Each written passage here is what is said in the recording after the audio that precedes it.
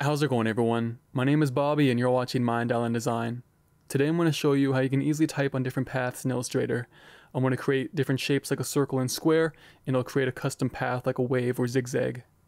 So I'm just going to begin by selecting the ellipse tool and making a circle. That'll be a good size there and I'll just align that to the center. Uh, the next thing we'll want to do is select our type tool. Just click and hold and scroll down to type on a path tool and as you can see, there's that little wavy line in the center now. And you'll want to make sure that you actually hover over your path and click there.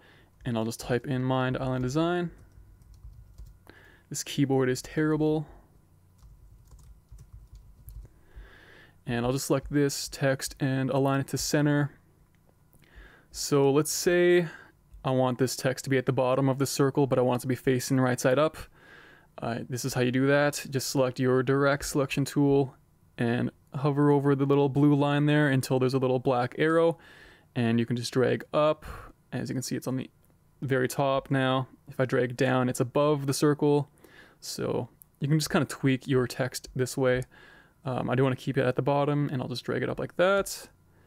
Perfect. And let's say I want this text to be below the circle. Let's say the circle is a part of my design and this is kind of in the way.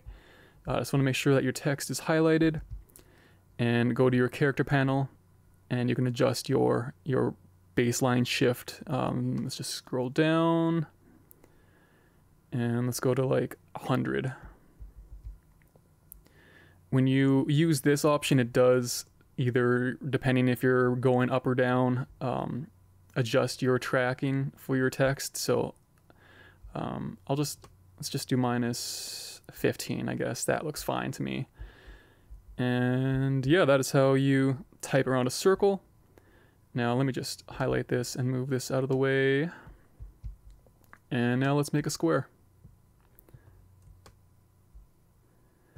So now let's say if I want to type within this within this shape, let's just make it a custom shape. Um, I'll just round this corner here, maybe a bit more actually, like that.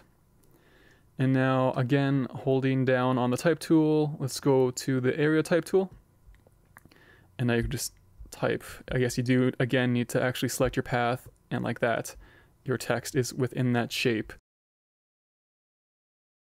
And just another quick thing to take note of is your paragraph panel here. And again, these are both on the side here, your character and paragraph. Um, these little dots give you more options. Um, so yeah, let's just select the paragraph panel and I want to uncheck the hyphenate. That just makes it look much cleaner. There's not those little lines there at the side. And yeah, that's basically it's basically that. It's super easy. And now to type on a custom shape. Let me just make a little wave here with this line segment tool. Um, let me just make this line actually visible like that. And I'm just going to go to the effect panel, distort and transform, and zigzag. Let's preview this. I'll make this about 50 and smooth.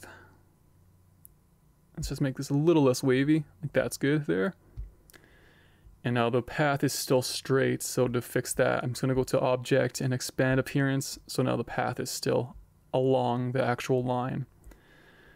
So let's select the type tool, zoom in here and just select your path. And it looks like the baseline shift is still at um, negative 100, so I'll just set that back to zero. So it's actually on the line, and yeah, now you can adjust your text as you please. So yeah, if I just go to character, I can adjust the the font and all that. I'll just go to our brand font here. We use Poppins.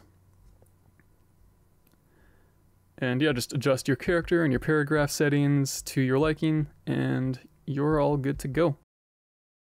So yeah, that is how you type on or within a path in Illustrator. I hope this video helped. If it did, please hit subscribe and follow us on all of our social media to stay connected and never miss a new tutorial. Thanks for watching, and I'll see you in the next video.